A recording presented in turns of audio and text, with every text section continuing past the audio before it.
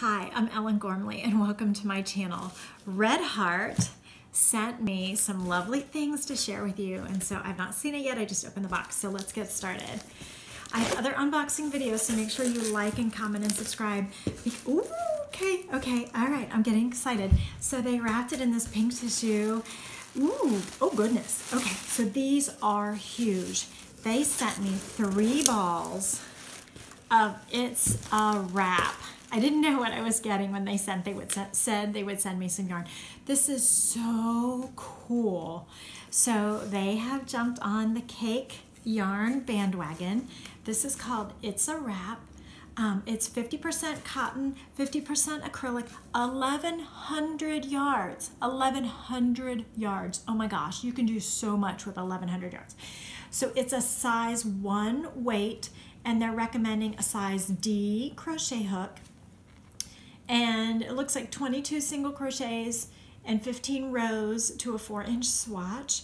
Machine wash, warm, cold, dry, flat, do not bleach, do not iron, do not dry clean. Good, I don't want to dry clean it anyway. Okay, this colorway is called Romance and um, I'm so inspired by this. This is so exciting. The color change is so long on this, which is perfect for crochet. So um, crochet uses a lot of yarn and so you need a really long color change so that you can really get the full effect. So if you have a yarn that has a really short color way, short sections of color at a time and it changes a lot, in crochet it just all tends to look muddy. But with a really long colorway, you can really see the colors and it doesn't get all um, mixed together and tweedy looking. You actually get the benefit of the color. So, and this is soft. Look how squishy this is too. 1100 yards. It really is very nice. So cotton and acrylic, lovely.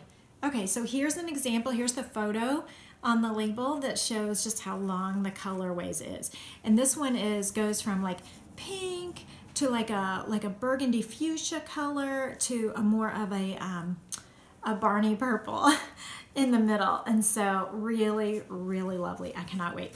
But look at these other colors they also sent me of It's a Wrap. This one is called Documentary and it has three colors also. So it goes from this sea blue to this more of a um, kind of a jade green blue to almost a denim blue in the middle. It is, it's very lovely. And I can't tell you like how good this feels in my hand. It's very squishy. It's very um, tactile, which for me, when I say it's tactile, it means it just it just feels good to hold. Like it's fun to hold. I don't even know how to describe um, like why a ball of yarn is fun just to hold, but it is.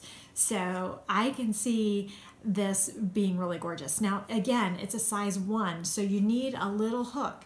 You need a D hook for this, but boy, these colors are really inspiring and um, it's just really lovely. This really fits my aesthetic, which is tends to be, I tend to like solids. I tend to like these colors. These are gorgeous.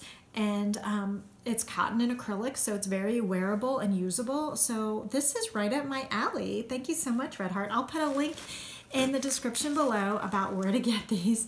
Look at this. Okay, so this is gorgeous too.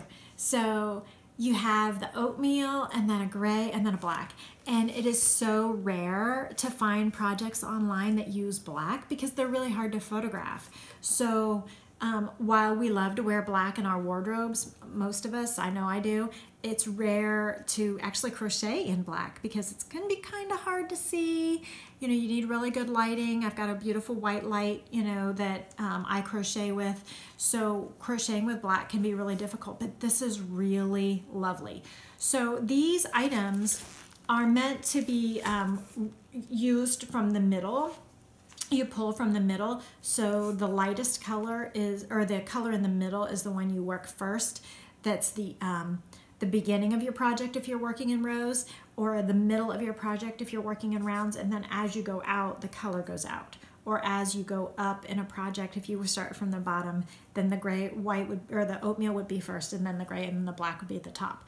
So you do need to strategize like which color you want to come first in the sequence when you're using these because you could absolutely reverse it.